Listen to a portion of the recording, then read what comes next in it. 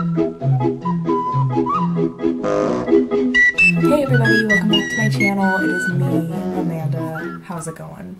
So today I'm going to be talking about how I revamped my application from my first two times of applying to the Disney College program. So this video is mainly for people who have been NLIC'd before um, and need a little help revamping their application. Feel free to like ask me any questions in the comments um, or like send me a draft of what your application currently looks like and I'll take a look at it and edit it. That's if like not a lot of people send it to me because I don't have time to edit like a lot of people's stuff. But if like five or six people ask me to look at their application, I'll definitely let you know what you can fix, what will make it look better, and why you may have gotten NLIC'd and not even pushed through to the interview process. So if you care about, you know, revamping your application, keep on watching. So I applied to the Disney College program twice before I got in. So it was my third time applying when I actually got accepted. My first time applying, I was a freshman in college and I just kind of was like, you know, I'm not that serious about going. Like I really want to go, but I'm just going to kind of apply and see what happens. Like if I get in, cool. If I don't, it's whatever. My first application was very bland.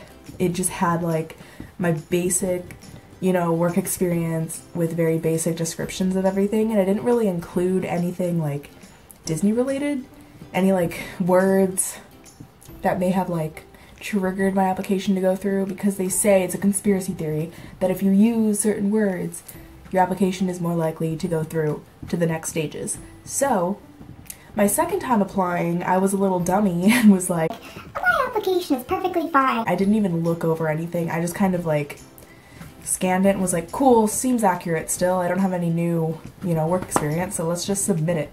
So I submitted it again, second time, nothing. No interview.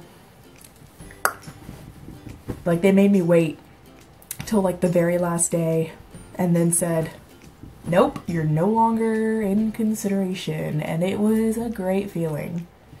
It was so fun. What, this year, now that I was like a lot more serious about getting in and I was like determined because I kind of told myself like this is the last time I'm going to apply. If I don't get in this time, just forget it. Like it's not worth it. It's not worth my stress. So I decided that I was really, really going to try to make my application like A1, top notch. I wanted them to see my application and be like, Like, damn. Okay. so I revamped everything and I'm gonna tell you what I did. So, first of all, the main thing that I revamped and what I'm gonna be talking about the most in this video is the actual like responsibilities and skills section of your work experience. Because in these sections this is where they're really looking at what you did in your previous jobs and they're looking for those key words so some of the key words include the four keys. So you have safety courtesy, efficiency, and show. I think that's the right order. I only remember that because I worked at the Disney store before, so I've learned it already, but it's okay if you don't know that. It's fine. Like, if you haven't worked for Disney before and you don't know the four keys, it's chill. Like, it's not. It's chill.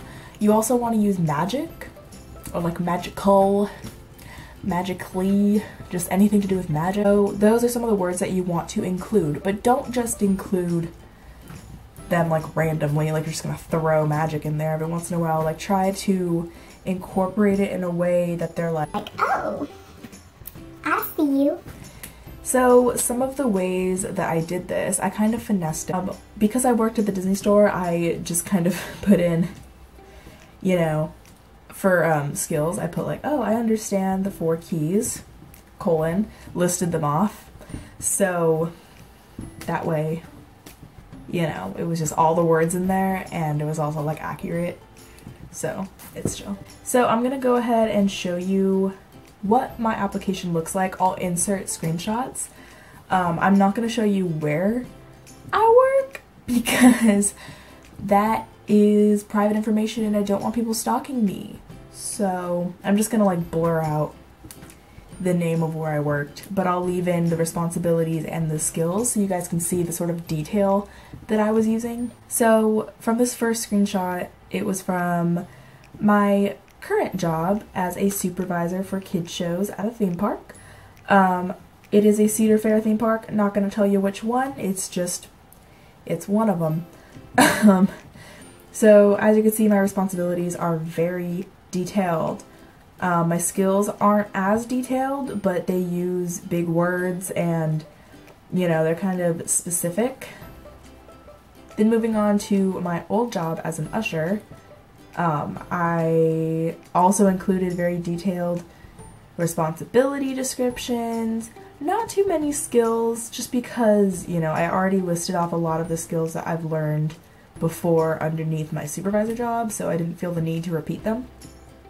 And lastly, I have my Disney Store experience. So this is where I really wanted to shine. Like I wanted to show that I remember stuff that I did there. I wanted to show that, you know, my experience there was a fulfilling one and all of that. So I kept my responsibilities super duper detailed, as well as my skills, added a lot of skills under that one compared to my other ones.